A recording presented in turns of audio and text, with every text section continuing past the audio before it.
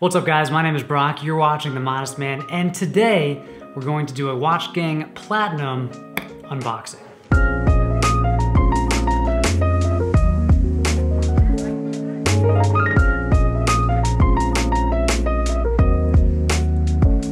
Real quick, thanks to Watch Gang for supporting The Modest Man and making my work possible by sponsoring this video. Now, if you haven't heard of Watch Gang, they are a watch subscription company.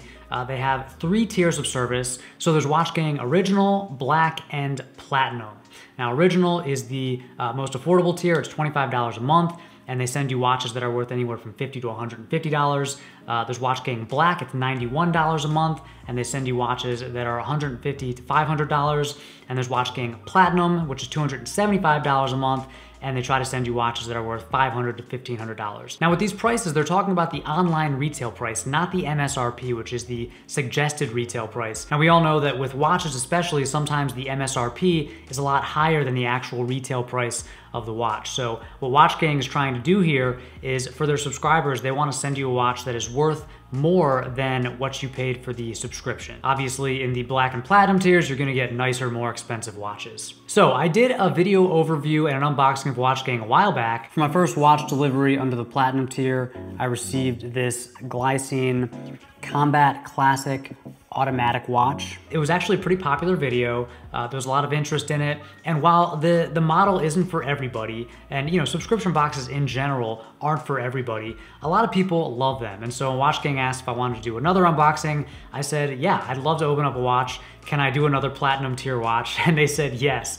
So we have in here a platinum tier watch. I have no idea what it is. Um, I did give them my preferences, which is for mechanical watches and smaller watches, so like under 40 millimeters.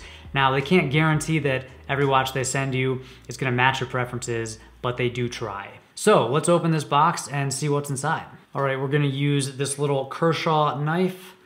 Really nice little compact everyday carry knife, and it's also got a bottle opener built in, so very handy, very sharp, and uh, very small.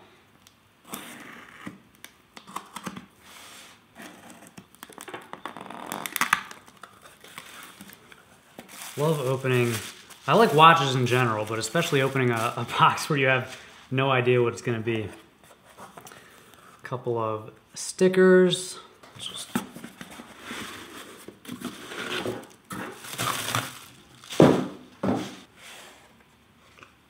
Stewart Dawson. Okay, this uh, brand is new to me. Not that I know every single watch brand, but I have not heard of this one. Uh, I guess they're based in London.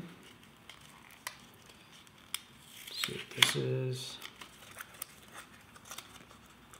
Just a little authorized dealer stamp.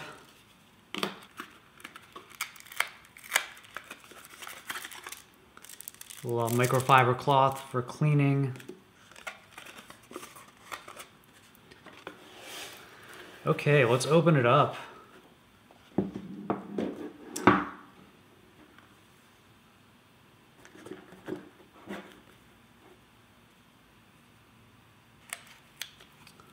say a substantial watch.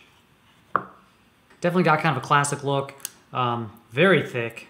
That's probably like, I don't know, 14, 15 millimeters maybe. I'll give you a better view here.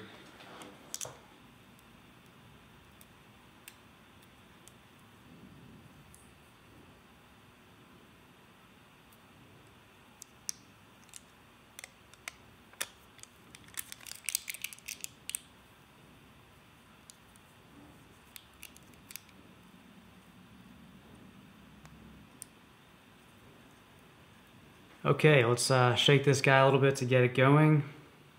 And there it goes. And we'll set it. What time is it here?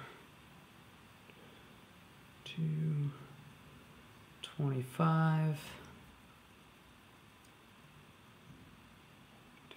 25.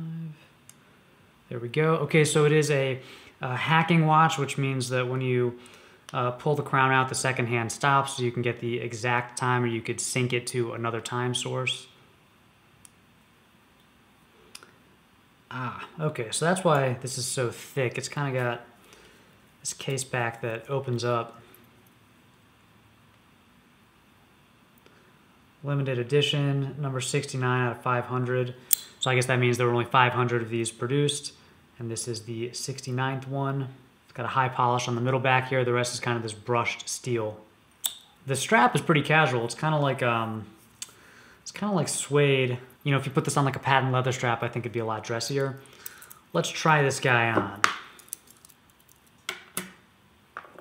So this is probably about a 40 millimeter. This is kind of on the larger side for the watches that I like to wear. And I would definitely have to poke a couple extra holes in this strap because it's too big for my small wrist. Actually doesn't wear as big as I thought it was going to. It is very thick. I'd probably have trouble fitting this underneath uh, like the cuff of a dress shirt. Let's just look it up, see what we can find. Stewart Dawson London. Okay, so it looks like this is kind of a new brand. Got a cool website. Okay, they've got a heritage section on their website. Let's see what it says here.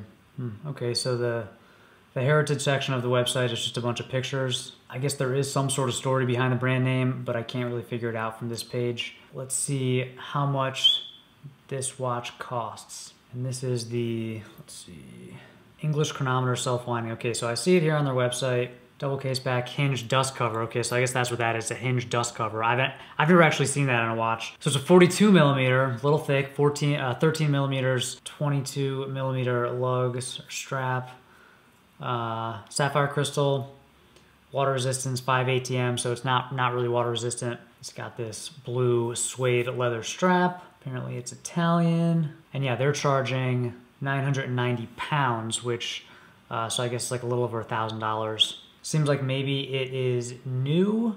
Let's see, they have a Kickstarter page. Swiss-made automatic watch combining military tradition with contemporary fashion and personal engraved message on the inner case back. Okay, so I think what they do here is on this inner case back here, uh, it looks like if you order it from their website, you can get that custom engraved. Mine just says limited edition, uh, 069 out of 500. I guess you can get your name or something else, some other message on there if you want to.